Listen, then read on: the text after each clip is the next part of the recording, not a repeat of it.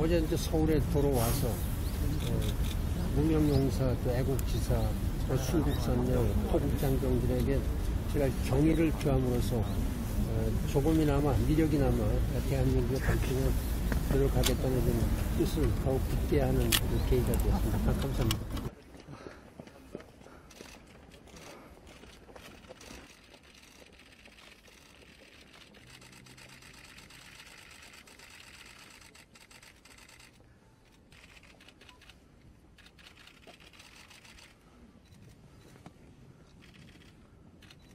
경례 바로 문영